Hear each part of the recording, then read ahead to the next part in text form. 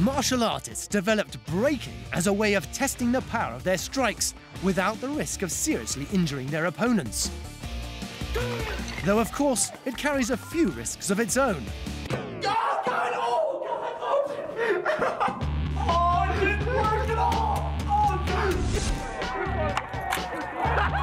As you may have guessed, this isn't something that just anyone can do. Getting it right requires plenty of practice and a pretty fascinating bit of physics.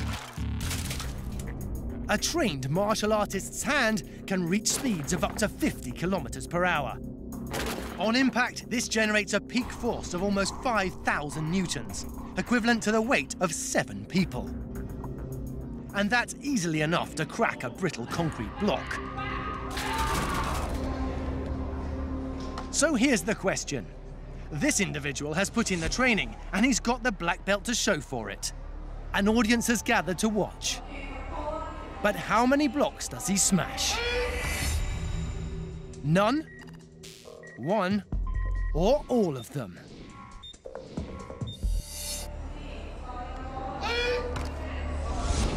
Ouch! The trick here is to combine power with speed. Too little of either and well, you get the idea. Right, time for some more bricks. 12 to be precise. This martial artist has positioned his entire body weight behind his strike. So, will he do any better?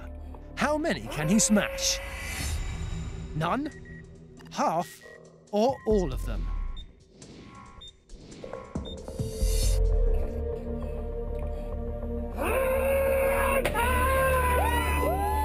With his full weight behind his strike, he's able to demolish over half the stack.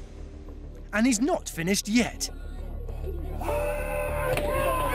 But if you thought that was impressive, wait till you see what's next. This is Master Moses. The roof tiles he's attempting to smash through may be a little thinner, but there are 35 of them, and they're too high up for him to put his body weight into the strike.